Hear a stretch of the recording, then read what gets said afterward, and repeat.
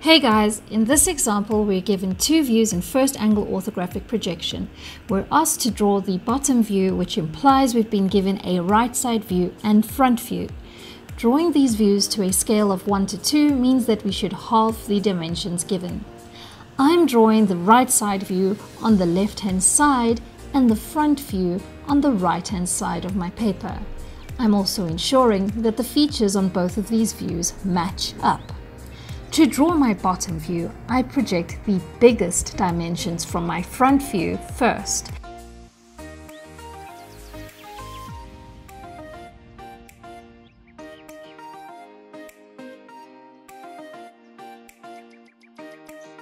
Then I construct a 45 degree line to my front view so that I can project the biggest dimensions from my right side view to meet the first two lines that I drew.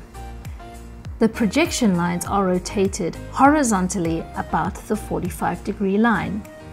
I can now draw in construction lines for the center lines of each view so that it's easier to draw in my circle.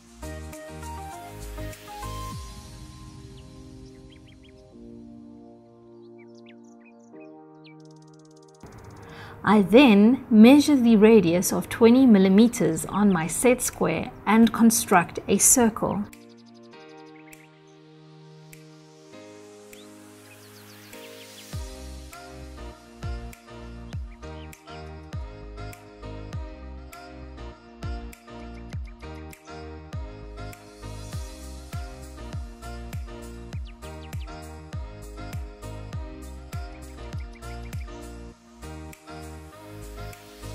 I use my eraser shield to neaten it up.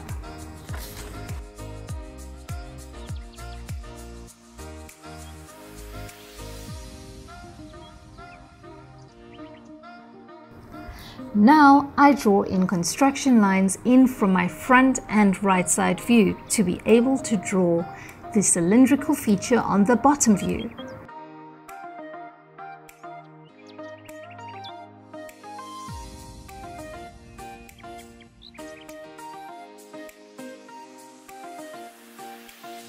You can use stencils for standard size circles, such as this one.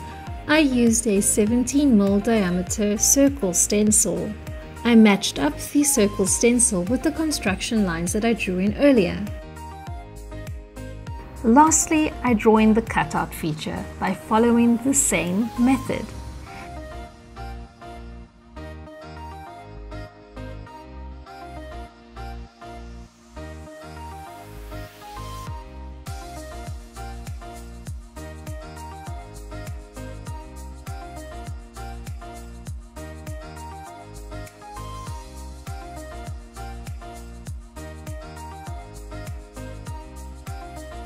This is the object in 3D.